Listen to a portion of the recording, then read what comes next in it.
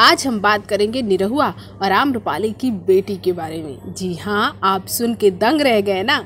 जी हाँ आगे भी देखिएगा ये न्यूज़ पूरी तो आप खुद कह देंगे कि भाई, मानना पड़ेगा आम्रपाली का दिल बहुत बड़ा है और साथ ही साथ दिनेश लाल यादव निरहुआ अपनी बेटी को बहुत प्यार करते हैं। यहाँ पर बात हो रही है निरहुआ की बेटी अदिति की, लेकिन आपको ये भी क्लियर कर दे, अदिति प्रवेश लाल यादव की बेटी है। तो प्रवेश लाल यादव और निरहुआ की फैमिली एक साथ मुंबई में रहती है। उस हिसाब से अदिति के बड़े पापा हुए दिनेश लाल यादव निरहुआ। और आपको बता दें कि दिनेश लाल यादव निरहुआ के साथ साथ आम्रपाली भी अदिति को अपनी बेटी मानती हैं और उसे बहुत पैम्पर भी करती हैं। साथ ही साथ अदिति भी आम्रपाली को बहुत अटेंशन देती हैं और आम्रपाली के हर एक बर्थडे में अदिति शिरकत करती ही करती हैं।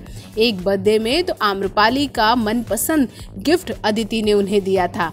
जी हाँ आईफोन का फ़ोन आम्रपाली को बहुत पसंद है।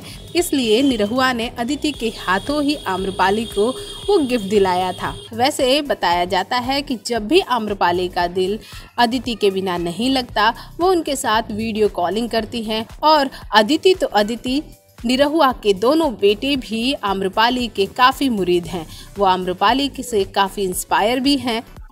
साथ ही साथ निरहुआ की बात करें तो अदिति के लिए तो निरहुआ का दिलो जान हाजिर है। क्योंकि निरहुआ के घर में अदिति इकलौती लड़की है और वो सबसे छोटी भी हैं। वैसे तो आपको पता ही होगा, जो घर का सबसे छोटा होता है, उसे सबसे ज़्यादा प्यार मिलता है। तो कैसी लगी आपको हमारी ये स्टोरी और कैसी लगी आम्रपाली और निरहुआ की बेटी अदिति? भोजपुरी जगत की हॉट और मसालेदार गॉसिप के लिए हमें सब्सक्राइब करना बिल्कुल न भूलें।